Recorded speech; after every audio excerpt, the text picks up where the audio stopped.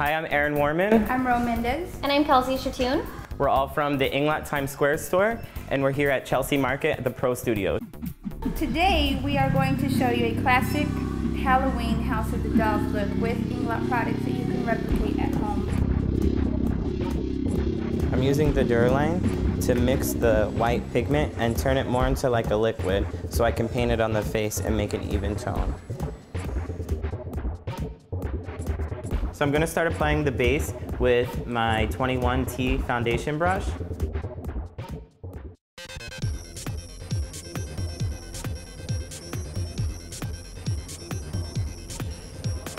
You wanna make sure you blend it all the way up into that hairline. Into the eyebrows. If you wanna really get it in the skin, brush against the eyebrows. Just under her, right under her jawline. We're not going any further than her jawline, and then we'll just drag it out a little bit down her neck.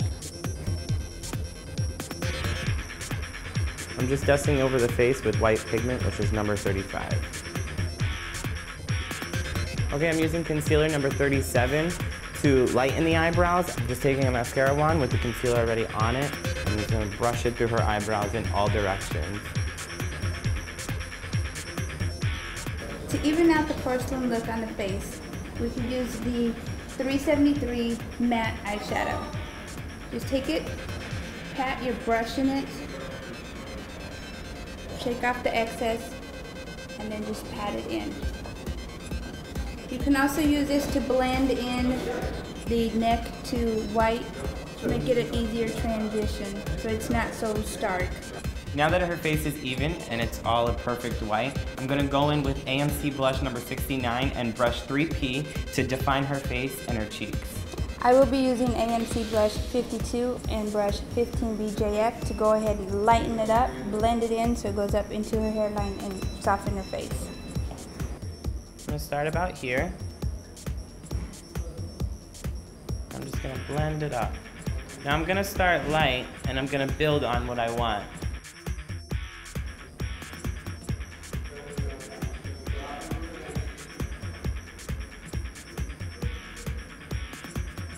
So what she's doing is she's placing it on. She's gonna place it firmly against the skin because remember we, we drew on it with the pencil. So we want the pencil to show up on the skin as it did right now. Basically, it showed up just a little bit. It's very light so that if there is a mistake, you can cover it up and fix it. So now she's going to go in and she's gonna fill it in and define it. This makes it a lot easier so she doesn't have to freehand it and you don't have to worry about if you're gonna make it symmetrical on both sides. So she's using the 31T brush, which is an angle brush, and the liner 77 gel liner.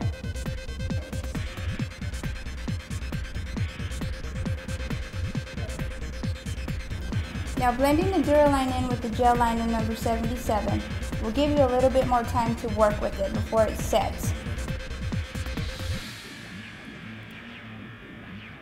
So while Rose finishing up with the eyebrows, I'm gonna go in and start with the lip. So I'm going in with the same base color that I used, the pigment with, mixed with the Duraline, and I'm gonna go over the lip and make it all white.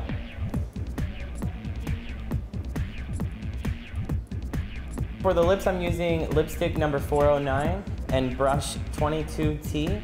The reason I'm using this brush is to have a more accurate look and I have more control over the lipstick.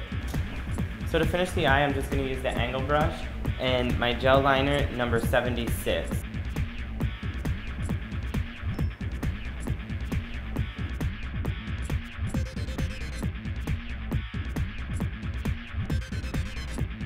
I'm taking the lash and placing it upside down so the lashes curl comes out. So now while she's adhering the lashes to both sides and measuring them up, I'm gonna go ahead and, and, use the AMC blush that we used, number 69, for the lid of the eye. I'm gonna blend it up to probably about where her real eyebrow is.